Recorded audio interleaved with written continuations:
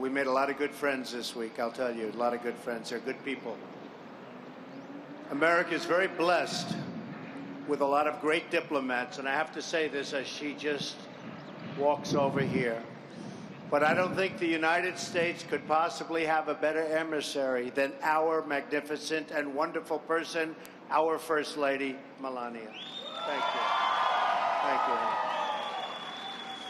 The countries of the world have a large number of disagreements, but they all agree with me on that one. That I can tell you. So everywhere we go, it's the same old story. So great job. And you know, we've been gone for now a long time. Everywhere I go, but we have been gone for close to nine days. This will be nine days. And I think we hit a home run no matter where we are. We're thrilled to be here right now, and we're getting on that very big plane. We're heading back to Washington and the United States.